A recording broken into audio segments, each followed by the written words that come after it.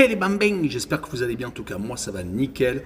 On se retrouve aujourd'hui pour une nouvelle vidéo sur la Ligue 2, la 27e journée, 10 matchs analysés ensemble qui sont les suivants. Sochaux contre Bordeaux, Saint-Etienne, Amiens, Laval contre le Paris FC, Rodez qui reçoit Caen, Valenciennes contre Bastia, Grenoble contre Annecy, Pau contre Niort, Nîmes qui accueille Quevilly-Rouen, Guingamp contre Dijon et le choc Metz contre Le Havre. N'hésitez pas à venir nous rejoindre sur le site VIP, les réseaux sociaux, une code safe et une code fun tous les jours. Tout est en description et à l'écran.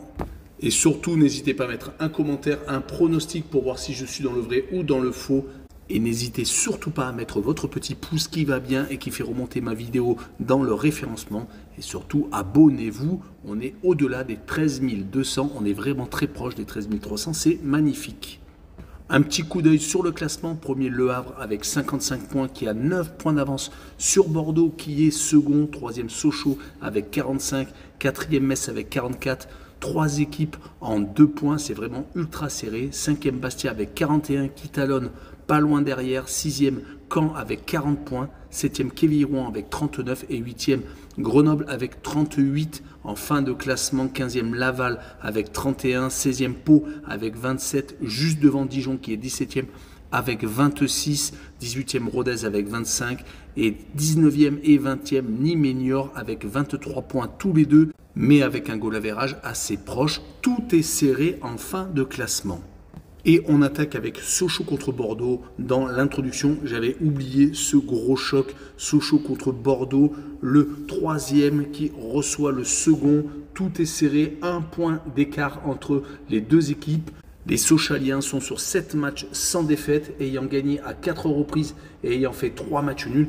Mais par contre, ils accusent un petit peu le coup ces derniers temps, même s'ils ne perdent pas, on est bien d'accord. Sur les 4 dernières rencontres de Ligue 2, c'est 3 matchs nuls tout de même et une seule victoire contre Annecy.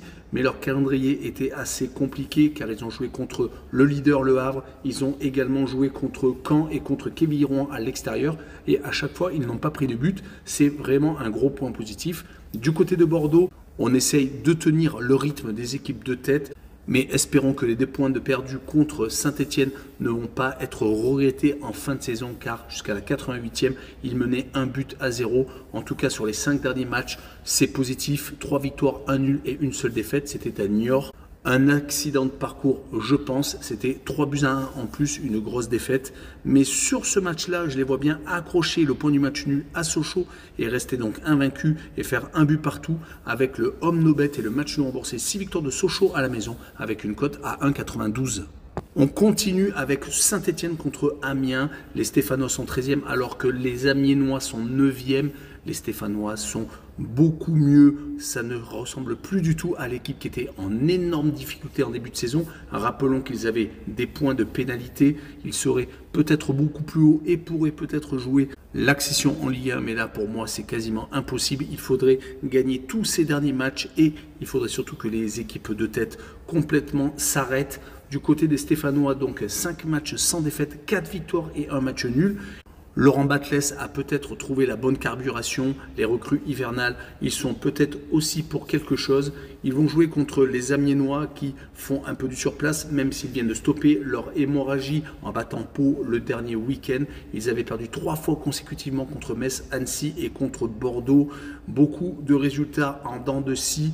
Ça leur permet tout de même d'être au milieu de tableau. Mais sur cette rencontre, je les vois perdre 2 à 1 à Saint-Etienne. Et je vois les Stéphanois marquer le plus de 1,5 buts sur le match. Une cote à 1,85. On enchaîne avec Laval contre le Paris FC, deux équipes en difficulté qui ont le même nombre de points, 14e et 15e.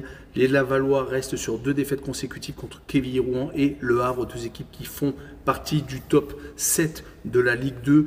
Mais sur les cinq derniers matchs, c'est qu'une seule victoire à Pau, un match nul contre Annecy et donc trois défaites car ils avaient également perdu à Valenciennes en début de série. Heureusement qu'ils arrivent à avoir quelques résultats tout de même à la maison. Deux victoires, un nul et deux défaites sur les cinq derniers matchs chez eux. Donc attention quand même à la réception du Paris FC qui n'est pas beaucoup mieux, qui sur les cinq derniers matchs, toutes compétitions confondues, n'a gagné qu'une fois, c'était contre Niort à la maison, et ils ont perdu à deux reprises et ont fait deux matchs nuls. Ils ont été éliminés de la Coupe de France par Annecy au penalty. Cela n'a pas aidé dans l'état d'esprit actuel. Mais comme ils sont capables de faire 0 à 0 chez le leader, je les vois bien faire un partout à Laval avec la double chance 1N et une cote à 1,48. On poursuit avec Rodez contre Caen. Les Rodésiens sont 18e, relégables actuellement à 2 points de la première équipe qui n'est pas donc dans la zone de relégation. Ils affrontent Caen qui est 6e et qui est encore en course pour la montée directement dans l'élite française mais Rodez est une équipe qui est assez irrégulière, qui a réussi à aller jusqu'en quart de finale de la Coupe de France, mais qui s'est fait sortir par Toulouse dernièrement 6 buts à 1. Ils ont dans la foulée gagné à Niort, alors qu'on pensait peut-être qu'ils allaient être fatigués, mais ils sont dans le mode survie sur les 5 derniers matchs, toutes compétitions confondues. C'est tout de même une victoire, deux matchs nuls et deux défaites. Donc c'est une équipe qui est en train de lutter pour ne pas sombrer totalement. Ils vont jouer contre Caen qui est plutôt dans une très bonne passe, qui a gagné 3 de ses 5 derniers matchs de Ligue 2 et qui n'a perdu qu'une seule fois sur les 10 derniers matchs officiels, mais par contre beaucoup trop de partage de points, 1, 2, 3, 4, 5 exactement. On notera quand même qu'ils se sont imposés lors du dernier déplacement à Guingamp. Donc sur ce match-là, je les vois bien continuer à espérer jusqu'à la fin de la saison et gagner 2 buts à 1 à Rodez. Et je vois le draw no bet avec le pari remboursé si match nul, une cote à 1,55. On continue avec Valenciennes contre Bastia. Les Valenciennois sont 12e à 6 points de la relégation, alors que Bastia est 5e à 5 points de l'accession pour l'élite. Les Bastillais sont actuellement sur une série assez intéressante de 3 matchs sans défaite, un match nul contre Guingamp à la maison et deux victoires contre Rodez et dernièrement contre Nîmes qui montrent qu'ils ont encore donc toutes leurs chances de monter directement je noterai quand même qu'ils sont assez irréguliers, ont des bonnes périodes de deux victoires ou de trois matchs sans défaite, mais malheureusement perdent au milieu des fois deux fois consécutivement contre Caen et contre Kévé Rouen. Dernièrement, c'était le 3 et le 11 février. Côté valenciennois, on continue de faire des partages de points, ce qui les fait stagner et malheureusement les met en danger car les trois derniers matchs se sont terminés par trois matchs nuls, 0 0 contre Rodez, 2-2 contre Dijon et un but partout contre Kévilly Rouen. Même constat quand il joue à la maison, 4 matchs nuls et une seule victoire. Sur ce match-là, je vois bien un, but partout et je vois encore un match nul avec le away no bet et le match remboursé 6 victoires de Bastia à l'extérieur qui est légèrement favori sur cette rencontre avec une cote à 1,87. On enchaîne avec Grenoble contre Annecy, deux équipes qui sont au milieu de tableau mais qui ont 6 points tout de même d'écart, avec Annecy 11e et Grenoble 8e. Les Grenoblois n'ont plus le choix s'ils veulent encore espérer une superbe fin de saison, mais malheureusement depuis 5 rencontres, ils accusent le coup, ont été éliminés de la Coupe de France par Lyon, mais là c'était vraiment une très belle rencontre de leur côté et ils ont fait deux défaites en championnat à Caen et à Dijon et deux matchs nuls à la maison contre Pau et contre Le Havre. Le Havre est peut-être le seul point positif, mais attention aux Grenoblois qui doivent absolument l'emporter contre Annecy qui a des résultats plutôt contrastés, une énorme qualification, un exploit même à Marseille, gagnant au penalty après avoir fait 2-2 après le temps réglementaire. Depuis, ils ont malheureusement perdu donc 3 à 0 contre Metz et ils avaient perdu juste avant donc ce déplacement au Vélodrome 5 buts à 1 à Sochaux, donc 8 buts encaissés en deux rencontres en Ligue 2. Heureusement qu'ils avaient fait des bons résultats juste avant, battant Amiens à la maison 2 buts à 0 et faisant un but partout à Laval. Et sur ce match-là, je vois bien Grenoble s'imposer 2 buts à 1 et encore espérer. Et je vois le plus de 1,5 buts sur le match, une cote à 1,50.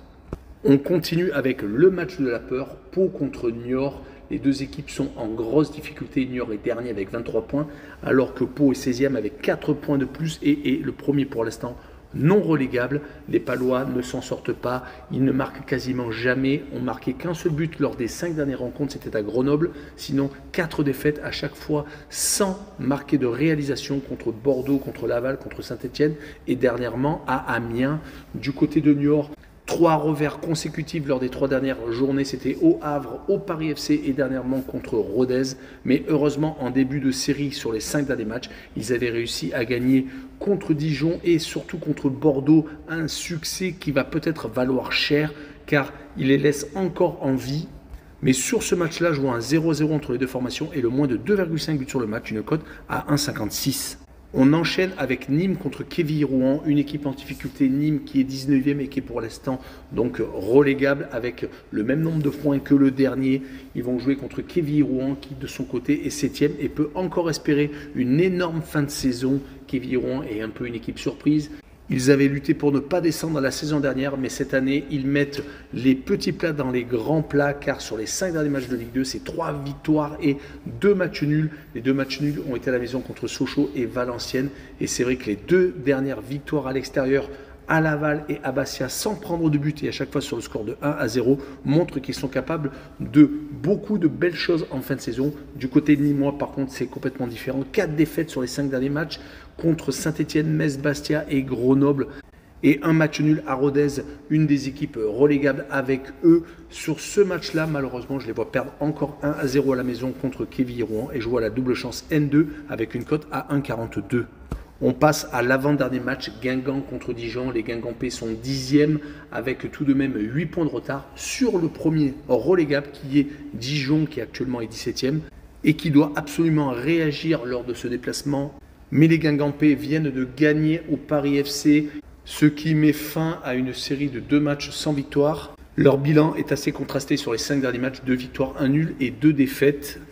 Mais c'est surtout qu'à la maison, c'est quatre défaites sur les cinq dernières réceptions. Donc attention à cette réception de Dijon qui de son côté a perdu deux fois et reste tout de même sur trois matchs sans défaite, deux matchs nuls contre Metz et Valenciennes et surtout une victoire ultra importante à la maison contre Grenoble, un but à zéro. C'est pour cette raison que je vois bien un, but partout entre les deux formations avec le Omnobet et le match remboursé, six victoires de Guingamp à la maison, une cote à 1,78.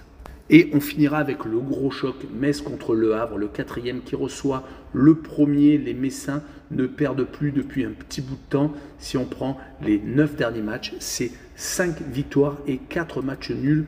Donc les Messins sont dans la course pour obtenir un des deux strapontins pour monter directement dans l'élite. Ils restent même sur deux victoires consécutives contre Nîmes et contre Annecy.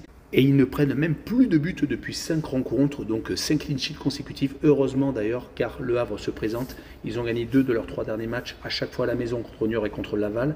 Et ils viennent tout de même de faire 3 matchs nuls sur les 5 derniers matchs contre le Paris FC, Sochaux et contre Grenoble. Donc sur cette rencontre, je vois bien un 0 à 0 avec la double chance N2 et la cote à 1,64. N'hésitez pas à venir me rejoindre. La vidéo est terminée sur la Ligue 2. Tchou les